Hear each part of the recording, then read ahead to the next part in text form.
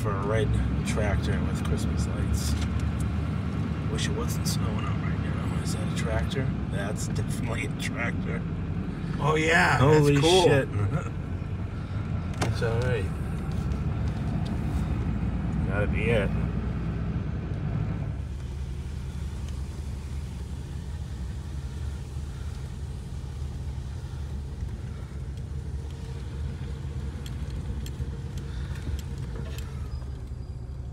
Yeah, I'm in love, I'm in love, I'm in love.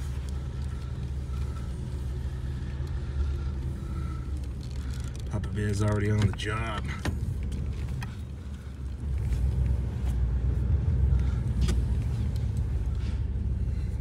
Let's go out and take a look and see what Papa Bear and I dragged back late last night. Oh my god, this car is gorgeous. This fine, fine specimen here is a beautiful 1983 Cadillac Fleetwood Brougham D'Elegance coupe with a factory Astro roof. Um, absolutely beautiful color. This is a pretty unique color. It's called Balboa Blue. Um, very, very sharp.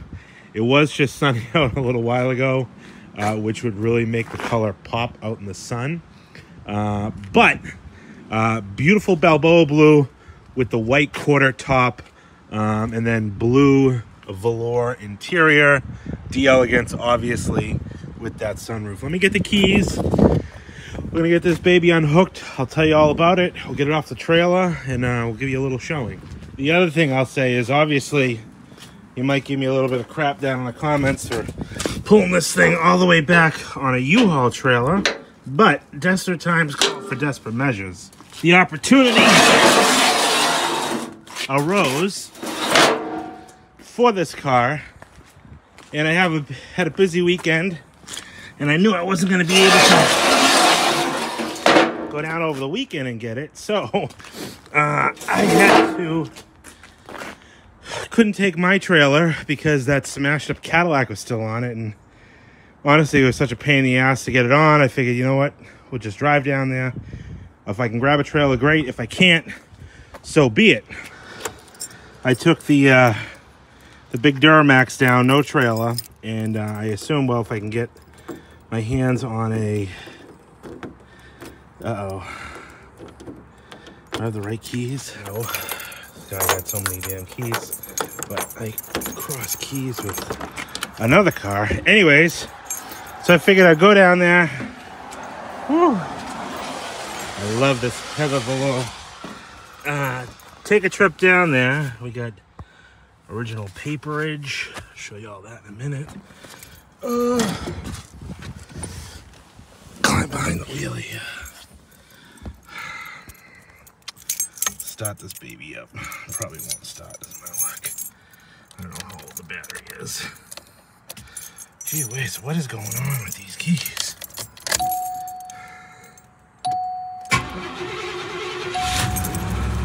Starts right up.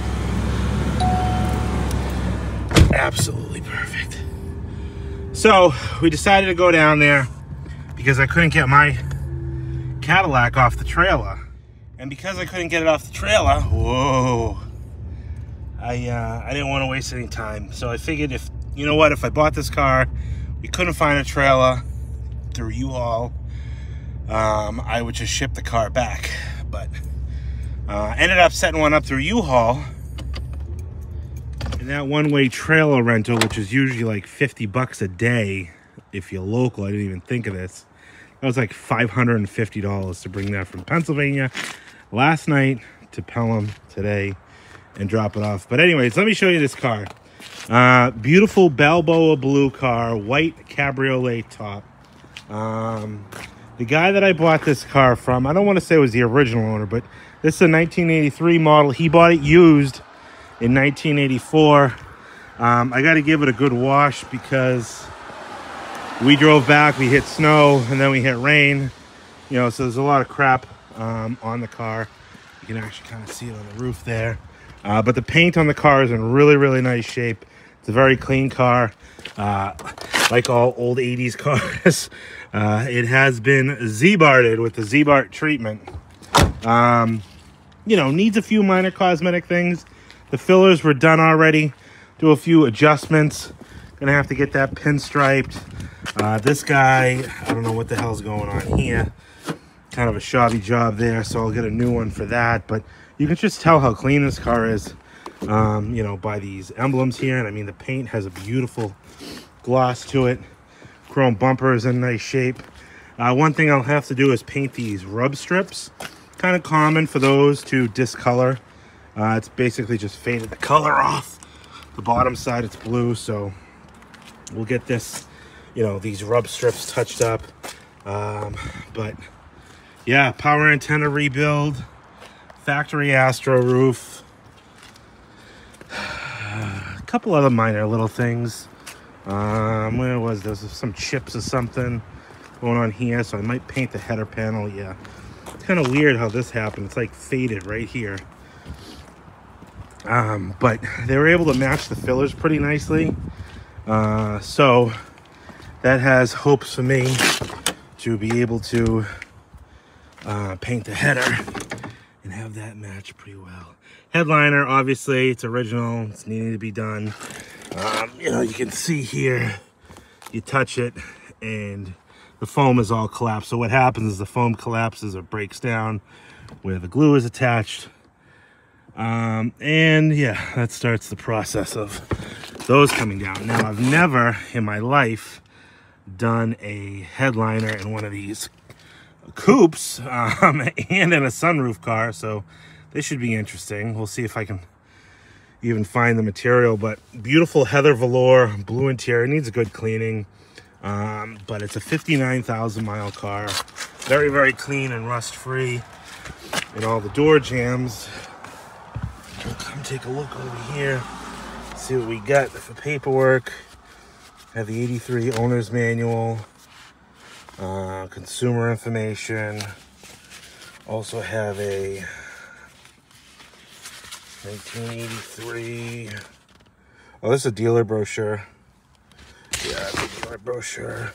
It's got these pictures from 2012 when this car was able to be classified as an antique. And it looks like in those pictures, he has the original fillers on it. Still had those beautiful Goodyear Double Eagle tires. Um, I know those are pretty sweet tires back in the day. But um, yeah, they got to be real old. I think those were the tires that they advertised. It was a tire inside of a tire. Um, Carbondale, PA. It was sold new at Hornbeck Chevrolet Inc. Built in Detroit, Michigan. Uh, let's see here. What do we got for options? Door edge guards, defogger rear window, Astro roof, $1,225. D'Elegance Brougham Cloth, $1,250. License plate frame one, that's in the trunk because PA only has one plate. Dark blue heather cloth. Balboa, Balboa blue exterior paint. And then uh, a white cabriolet roof. Um, he did give me another set of valve cover gaskets, which I probably won't use if I have to put valve cover gaskets on, only because those things look about as old as the car. Just some napkins. Let's go take a look what's in the trunk. All right, let's finesse through all these keys here.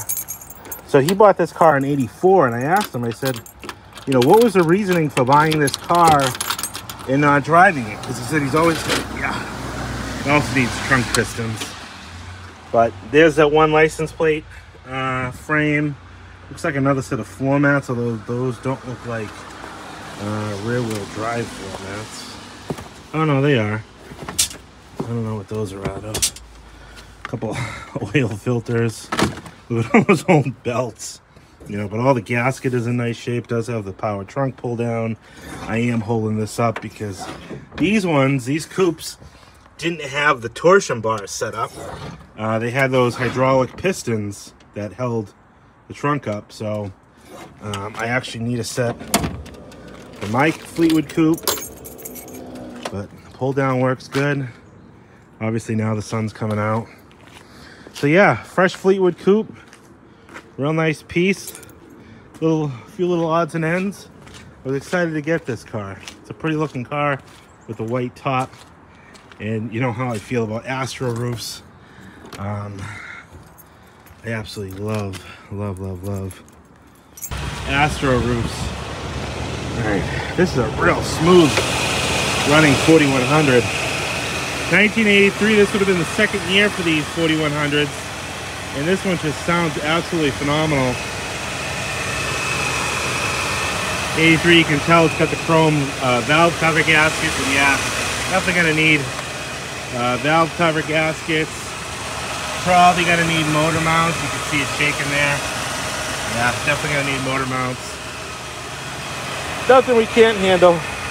Got this all cleaned up and detailed up. It's actually still the original R12 as well. But she'll clean up nice. I'm gonna give it a nice bath. I'm gonna put it inside for the weekend, but you can just see, you know, she got some salt buildup. It's kind of like a flashback of when I bought that Lincoln Town car in Chicago. Just a quick video showing you the day-to-day -day hunt that Papa Bear and I do. He was available at a moment's notice. I said, hey, Papa Bear, what are you doing? He says, I'm pretty busy. Why? What's going on? I said, we're heading to uh, Pennsylvania. Oh, what are we going for? I said, it's a Cadillac this time, not a Lincoln. so he was excited to go. Plus, he gets free meals and all those other perks. Thanks, everybody, for watching. Appreciate y'all. Hit that subscribe button if you haven't already. Any questions, you can always give me a call, 978-930-1004.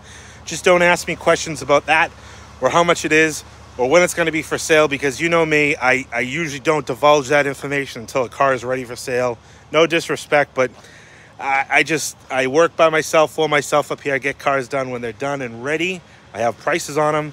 Always on my website, here on YouTube as well. Again, thanks everybody for watching. We'll talk to you on the next one.